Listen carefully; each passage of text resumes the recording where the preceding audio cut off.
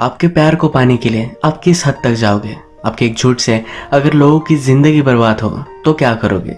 Hello friends आज की हमारी मूवी विक्कर पार्क 2004 की एक मिस्ट्री मूवी है। इस मूवी की स्टोरी टेलिंग ये बहुत ही अलग है, जो इसे बहुत ही इंटरेस्टिंग बनाती है। वीडियो स्टार्ट करने से पहले मैं आप सबसे रिक्वेस्ट करना चाहता हूँ। अगर आपको वीडियो अच्छा लगता है तो प्लीज़ इस वीडियो को लाइक कर दीजिएगा। कमेंट भी कर दीजिए, जिससे चैनल को बहुत सपोर्ट मिलता है। तो बिना किसी देरी के वीडियो स्टार्ट करते हैं।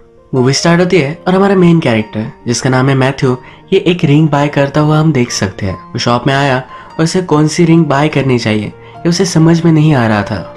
ज्वेलर ने उसे कहा कि आपके दिल को जो अच्छे लगे, वो आपको बाय करनी चाहिए। इसके बाद मैथ्यू सिटी में अपने एक पुराने दोस्त से मिलता है। दो साल पहले मैथ्यू न्यूयॉर्क चला गया था। इसी वजह से टच में नहीं थे। अब लास्ट टू मंथ से मैथ्यू इसी शहर में रह रहा है तो उसका फ्रेंड कहता है, तुम्हें मुझे कॉल करना चाहिए था। ये एक दूसरे को देखकर बहुत ही एक्साइटेड है। आज फिर से मिलने वाले हैं। इनकी कन्वर्सेशन से हमें पता चलता है कि मैथ्यू की एक गर्लफ्रेंड है, जिसका नाम है रेबेका। रेबेका के ब्रदर के साथ ही मैथ्यू काम करता है। इसके बाद हम देखते हैं कि मैथ्यू अपनी एक बिज़नेस मीटिंग के लिए आया हुआ है। वहाँ पर उसकी गर्लफ्रेंड रेबिका भी आ जाती है। ये एक चाइनीज़ कंपनी के साथ डील कर रहे हैं। जो उनकी कंपनी के लिए बहुत ही इंपॉर्टेंट है। इसी डील की वजह से मैथ्यू को चाइना भी जाना पड़ेगा। मैथ्यू को बात करते करते जरा अनकंफर्टेबल लगता है तो वॉशरूम जाता है। वॉशरूम में उसे एक लड़की का आवाज़ आता है। ये आवाज़ उसकी एक्स गर्लफ्रेंड जिसका नाम एलिसा, उसका था। ये जल्दी से बाहर निकलता है, उसके पीछे भागता है। उसे उससे बात करनी थी। लिसा वहाँ से जा रही थी तो अचानक से उसकी हील टूट गई। मैथ्यू लिसा को रोकने वाला था, और उसकी गर्लफ्रेंड रेबेका वहाँ थी। अपने आप को उसने फिर छुपा लिया। इसके बाद मैथ्यू और लिसा में क्या हुआ था, ये फ्लैशबैक में हमें पता चलेगा। इसमें हम देखते हैं कि मैथ्यू पहले वीडियो स्टोर में काम करता था। उसकी शॉप में एक कैमरा रिपेयरिंग के लिए आया हुआ था। उसमें एक वीडियो थी जो लिसा की थी। लिसा मैथ्यू को बहुत ही अच्छी लगी। इस वीडियो से उसने नज़र हटाए तो स्ट्रीट की अगली तरफ़ लिसा खड़ी हुई थी। उसके लिए ये एक लव एट फ़र्स्ट साइट था। तो उसे ऐसे ही जाने नहीं दे सकता था तो उसका पीछा करने लग गया। उसे फिर पता चला कि लिसा एक डांसर है। इसके बाद हम फिर से प्रेजेंट देखते हैं। मैथ्यू को लिसा का आवाज़ आया था तो फ़ोन बूथ के पास हो गया। वहाँ पर उसे एक होटल का कार्ड मिलता है, जिससे हमें पता है कि उसे आज चाइना जाना पड़ेगा। रेवेका उसे एयरपोर्ट तक छोड़ देती है, पर मैथ्यू फ़्लाइट में चढ़ता नहीं। जिस होटल का वो कार्ड था, उस होटल में वो पहुँच जाता है। इस रूम में अब कोई भी नहीं है। मैथ्यू वहाँ की सब चीज़ें देखता है तो लिसा का एक मिरर उसे मिलता है। इसके बाद हम फिर से फ्लैशबैक देखते हैं। अभी अभी मैथ्यू को जो उसका फ्रेंड मिला था इसके साथ हम उसे देख सकते हैं। मैथ्यू के फ्रेंड का नाम ल्यूक है, जो एक शू शॉप चलाता है। मैथ्यू ने लिसा को देखा, उसके पैर में वो पड़ गया। इसके बारे में सब चीज़ें वो ल्यूक को बताता है। मैथ्यू को इतना ज़्यादा एक्साइटेड देखकर ल्यूक को लगता है कि लिसा के लिए वो पागल हो चुका है। ये शॉप में ही थे, तभी मैथ्यू लिसा को शॉप के बाहर देखता है। लिसा भी उसे नोटिस करती है तो अंदर आ जाती है। इसके बाद मैथ्यू ने प्रिटेंड किया कि एक शू सेल्समैन है। उसने उससे कुछ फनी बात करने की कोशिश की, पर वो फेल हो गया है। क्योंकि वो बहुत ही नर्वस है। वो लिसा को शू पहना रहा था। तो लिसा पूछती है, तुम मेरा पीछा क्यों कर रहे थे? मैं तो डर गया और कहता है कि प्लीज़ मुझे मिसअंडरस्टैंड मत करना।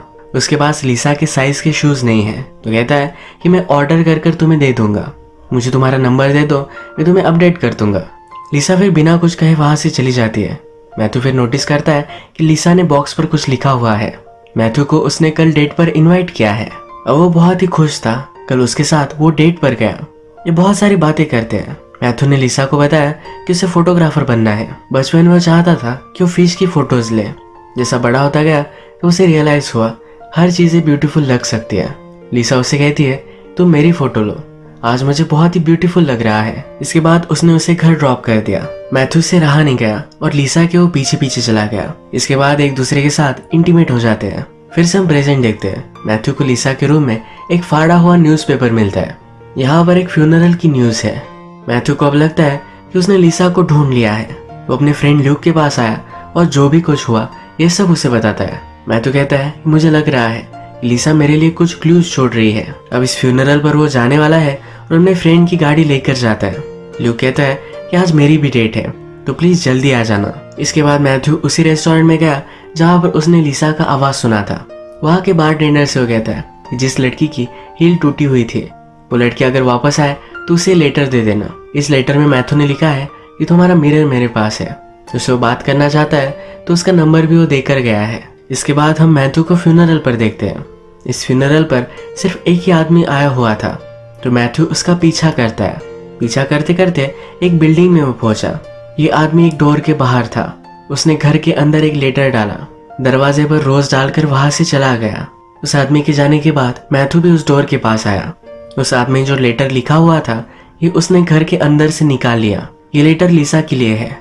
इसमें लिखा हुआ है कि तुम्हारी की मैं रिटर्न कर रहा हूँ। तुम मेरी लाइफ से ऐसे नहीं जा सकती। मुझे तुमसे बात करनी है। यहाँ से हमें पता चलता है कि वो आदमी लिसा का एक्स बॉयफ्रेंड था। मैथ्यू फिर ये लेटर अपने पास रख लेता है। वो अपना खुद का एक लेटर लिखकर डोर से डाल देता है। मैथ्यू ने उस आदमी का पीछा किया।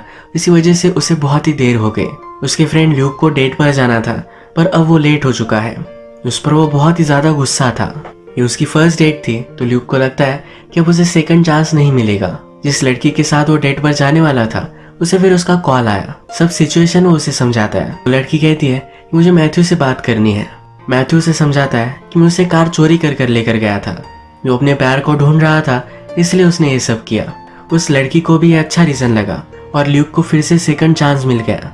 ल्यूक फिर उस लड़की का प्ले देखने के लिए जाता है। इसके बाद हम देखते हैं कि मैथ्यू ने जो लेटर लिखा था, ये किसी को मिल चुका है। इस लेटर में मैथ्यू ने लिसा को एक जगह पर मिलने के लिए बुलाया था।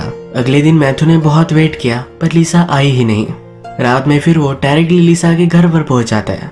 उसके पास उसके घर की चाबी थी तो अंदर घुस गया। घर में उसे उसका लेटर और टूटी हुई हिल भी मिली। अचानक से डोर का आवाज़ आया और कोई घर में आ चुका था। मैथू फिर बाहर निकला, पर घर में और कोई लड़की थी। ये लड़की मैथू से बहुत ही डर गई उसे लगा कि मैथू उसे हर्ट कर सकता है। ये लड़की हमारी और एक मेन कैरेक्टर है, जिसका नाम है एलेक्स। मैथू फिर उसे सब कुछ सिचुएशन समझा देता है। एलेक्स अपने आप को डिफेंड कर रही थी, तभी मैथू के हाथ पर जरा चोट आ गई। सब सिचुएशन जानने के बाद एलेक्स को जरा बुरा लगा। वो मैथ्यू को फ़र्स्ट एड कर देती है। वो मैथ्यू से कहती है कि मैं आज बहुत ही डर रही हूँ। उसका एक्स बॉयफ्रेंड कंटिन्यूसली उसका पीछा कर रहा है। वो मैथ्यू को आज रात उसके साथ ही रुकने के लिए कहती है। मैथ्यू भी उसे समझ लेता है और काउच पर सो जाता है। आधी रात में उसके पास आती है। उसके साथ इंटीमेट हो जाती है। फिर से हमें फ्लैशबैक दिखाया जाता है। अब हम देखते हैं कि मैथ्यू और लिसा बहुत दिनों से रिलेशनशिप में थे। मैथ्यू को अभी अभी न्यूयॉर्क में एक बहुत ही अच्छा सा जॉब मिला है। तो अब उसे मूव करना पड़ेगा। लिसा से कहता है या मेरे साथ तुम भी न्यूयॉर्क चलोगी। वो उसके साथ लिव इन रिलेशनशिप में रहना चाहता है। लिसा सुनकर बहुत ही सरप्राइज़ थे। उसे कहती है, कल मुझे तुम पार्क में मिलना। तब मैं तुम्हें मेरा आंसर दूँगी। अगले दिन मैथू ने पार्क में वेट किया, पर लिसा आई ही नहीं। वो फिर लिसा के रिहर्सल की जगह पर गया। वहाँ पर लिसा के इंस्ट्रक्टर से उसे पता चला कि लिसा अचानक से टूर पर चली गई है। उसने मैथ्यू के लिए कुछ भी नहीं छोड़ा। इसके बाद हम फिर से प्रेजेंट देखते हैं। मैथ्यू और एलेक्स, ये दोनों इंटीमेट हुए थे। सुबह होने पर एलेक्स मैथ्यू के लिए ब्रेकफास्ट बनाती है। वो एक नर्स है तो उसे जॉब पर जाना था। वो मैथ्यू को कहती है कि रात में मैं वापस आ जाऊँगी। अगर तुम चाहो तो यही रुक सकते हो। एलियस को फिर हम गाड़ी में आकर रोते हुए देख सकते हैं। फिर से हमें फ्लैशबैक दिखाया जाता है, जिसमें हमें पता चलता है कि लीसा और एलेक्स एक दूसरे की नेबर्स थी। इन दोनों में अच्छी फ्रेंडशिप हो चुकी थी। इसके बाद एलेक्स अपने खुद के घर में आती है। वो अभी अभी मैथ्यू के साथ जिस घर में थी, वो एक्चुअल में लीसा का ही घर था। लीसा एलेक्स के घर पर आई हुई है। एक्चुअल में लीसा का बॉयफ्रेंड उसे स्टॉक कर रहा था। तो लीसा एलेक्स के घर पर रह रही थी। कल रात जो भी हुआ तो ये सब मैथ्यू लूक को बताता है। एलिस के लीसा की तरह ही शूज़ थे। घर में सब चीज़ें उसे लीसा की तरह ही लग रही थी। ये सब मैथ्यू को बहुत ही अजीब लगता है।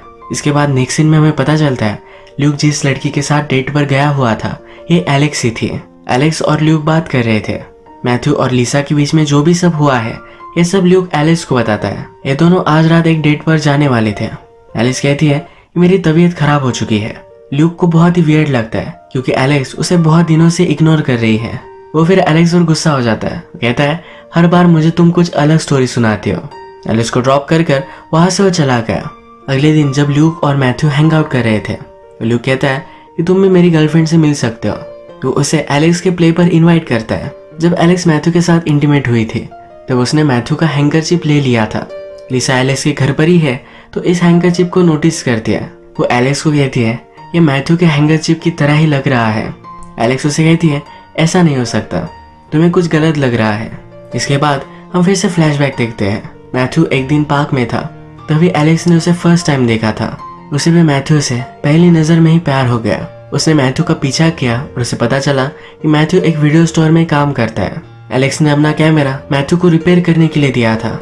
मैथ्यू ने जिस वीडियो में लिसा को फ़र्स्ट टाइम देखा था, ये एलेक्स ने शूट की थी। एलेक्स अपना कैमरा लेने के लिए वापस गई, तभी उसने नोटिस किया कि मैथ्यू लिसा में इंटरेस्टेड है। इससे उसका दिल टूट गया था। जब मैथ्यू और लिसा के बीच में रिलेशनशिप हुई तो ये सब एलेक्स देखा करती थी। और फिर से हम प्रेजेंट देखते हैं। लिसा को लंदन में एक जॉब मिल चुका था तो अब यहाँ से वो जाने वाली थी। उसने रियलाइज़ किया कि वो अपना मिरर शायद रेस्टोरेंट में छोड़ कर आई है। वहाँ पर जब वो पहुँची तो वहाँ के बारटेंडर ने मैथ्यू का लेटर उसे दे दिया। ये लेटर पढ़कर उसे बहुत ही अच्छा लगता है। वो मैथ्यू को कॉल करने का ट्राई करती है, पर मैथ्यू घर पर नहीं था। आज रात मैथ्यू भी इस शहर से चले जाने वाला था। वो अपना टिकट बाय करता है। लिसा भी वही अपना टिकट बाय करने के लिए आई हुई थी, पर एक दूसरे को इन्होंने नोटिस नहीं किया। रात में फिर मैथ्यू, लूक की गर्लफ्रेंड का, यानी कि एलेक्स का शो देखने के लिए आया। मैथ्यू को अब तक पता नहीं है कि एलेक्स लूक की गर्लफ्रेंड है। जब वो शो देखने के लिए आता है तो एलेक्स मैथ्यू को नोटिस करती है। उसने बहुत सारा मेकअप पहना हुआ था तो मैथ्यू उसे पहचान नहीं पाता। एलेक्स लुक के साथ मैथ्यू को नहीं देख सकते तो अपने मेकअप रूम में गए और खुद को लॉक कर लिया। इसके बाद हम फिर से पास देखते हैं। मैथ्यू ने अभी अभी लिसा को उसके साथ न्यूयॉर्क जाने के लिए पूछा था। लिसा को अचानक से टूर का ऑफ़र आया तो उसे जाना पड़ेगा। वो मैथ्यू के लिए एक लेटर लिखती है और एलेक्स को दे देती है। एलेक्स उससे पूछती है, क्या तुम उसके साथ न्यूयॉर्क जाने वाली थी? लिसा कहती है, कि मैं ऑफकोर्स जाने वाली थी। मैं उसे प्यार करती हूँ। उसके साथ ही मुझे रहना है। लिसा ने मैथ्यू के अपार्टमेंट की की भी एलेक्स को दे दी थी। एलेक्स मैथ्यू को लेटर देने के लिए गए मैथ्यू घर पर नहीं था। तो उसे घर में आ गए। लिसा का लेटर वहाँ रखती है, पर नोटिस करती है, लिसा ने बहुत सारे मैसेज मैथ्यू को दिए हुए हैं। एलेक्स मैथ्यू से प्यार करती थी तो जेलसी में उसने सब कुछ लिसा के मैसेजेस मिटा दिए। जो लेटर लिसा मैथ्यू को देकर गई थी, ये लेटर भी उसने अपने पास ही रखा। मैथ्यू बेचारा लिसा का वेट ही करता रहा। और फिर से हम प्रेजेंट देखते हैं। ल्यूक और एलेक्स एक साथ थे तो एक दूसरे के साथ इंटीमेट हो जाते हैं। ल्यूक के घर पर मैथ्यू का कॉल आया, जो एलेक्स ने पिकअप किया। ये जल्दी से वो फ़ोन ल्यूक को दे देती है, यानी कि मैथ्यू उसे पहचान ना पाए। यहाँ पर एलेक्स को पता चलता है कि मैथ्यू उसके ही घर पर है। वो फिर मैथ्यू को कॉल लगाती है। कहती है कि मैं जल्दी से घर पर आ जाऊँगी। लिसा को मैथ्यू का नंबर मिला था तो उसने फिर से ट्राई करने की कोशिश की। इस बार एक कॉल ल्यूक उठाता है। लिसा ल्यूक को बताती है मुझे उससे मिलना है। एक जगह बताती है, जहाँ पर मैथ्यू उसे मिल सकता है। जब एलेक्स लिसा के घर पर आए, जहाँ पर मैथ्यू है तो मैथ्यू उसे बैठने के लिए कहता है। मैथ्यू को सब चीज़ें बहुत ही अलग लग रही थी। उसे हंड्रेड परसेंट लग रहा था कि अपार्टमेंट लिसा का ही है। उसने फिर एक ट्रिक की और लीसा के साइज़ के शूज़ वो बाय कर कर लाया। ये शूज़ वो एलिस को पहनाता है, पर एलिस को फिट नहीं होते। वो समझ जाता है, कुछ ना कुछ तो गड़बड़ है। इवनिंग में एलेक्स और ल्यूक की डेट थी। इसी डेट पर ल्यूक एलेक्स से मिलवाने के लिए मैथ्यू को भी बुला लेता है। मैथ्यू जब एलेक्स को यहाँ देखता है तो उसे बहुत ही शौक लगता है। वो समझ चुका है कि एलेक्स उसे झूठ बोल रही थी। जिस अपार्टमेंट में वो था, वो लिसा का ही था। वो एलेक्स से बात करने लगता है। वो उसे कहता है कभी कभी आप जो लोगों को समझते हो, वो वैसे नहीं होते तो फिर मैथ्यू को लिसा के अपार्टमेंट में जो लड़की थी, उसके बारे में पूछता है। मैथ्यू कहता है कि वो एक बहुत ही झूठी लड़की थी। एलेक्स इस पर कहती है, तुम्हें पूरी बात पता नहीं है। शायद उसके हालात कुछ अलग हो। तुम अपने आप को इस तरह से विक्टिम नहीं बना सकते मैं तो इस पर जरा चिढ़ गया और कहता है, तुम ये सब क्या बात कर रही हो? एलिस कहती है शायद वो लड़की तुमसे बहुत पहले से प्यार करती थी। जैसे तुम्हें लिसा को देखते हुए फ़र्स्ट टाइम में ही प्यार हो गया था। शायद उसके साथ भी ऐसा ही हुआ था। शायद तो तुमसे भी फ़र्स्ट टाइम में ही प्यार करने लग गई थी। उसने जो किया, वो गलत था।